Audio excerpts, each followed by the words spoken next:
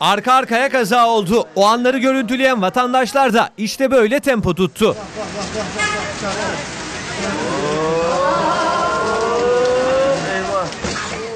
Bursa'da aniden bastıran kar beraberinde buzlanmayı da getirdi. Şehrin en işlek caddeleri de haliyle çarpışan otomobil pistlerini aratmadı.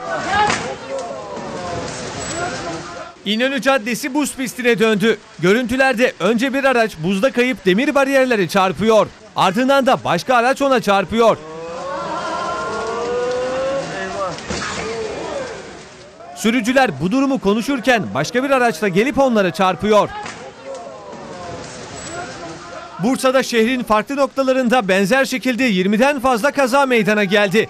Polis ekipleri ise kış lastiği olmayan sürücülerin trafiğe çıkmamasını istedi. Eyvah.